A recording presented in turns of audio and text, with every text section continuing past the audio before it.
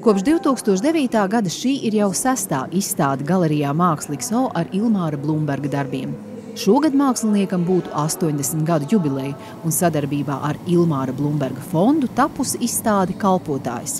Tas ir simbolisks tēls, kas raksturo pašu mākslinieku.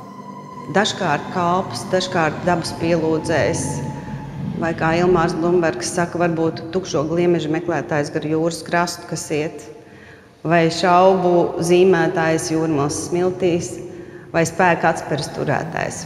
Arī intervijā Anitai Vanagai viņš teica, ka uh, pēc darba savā darbnīcā, uh, izējot ārā uz ielas, viņš pieliecās un pasaka paldies, ka viņš varēja strādāt. Priekš manis uh, Ilmāra Blumbergs ir vietas mākslinieks, viedais, kā es viņu mēdzu teikt, saukt, jo viņš, viņu dairada sakņojas vispār cilvēcisko patiesību meklējumos.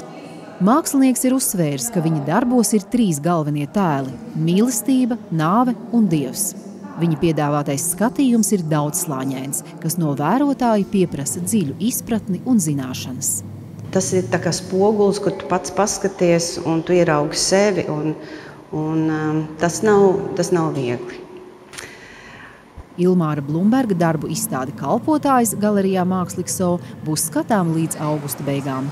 Līga Gaigala un Denis Benke, Latvijas televīzija.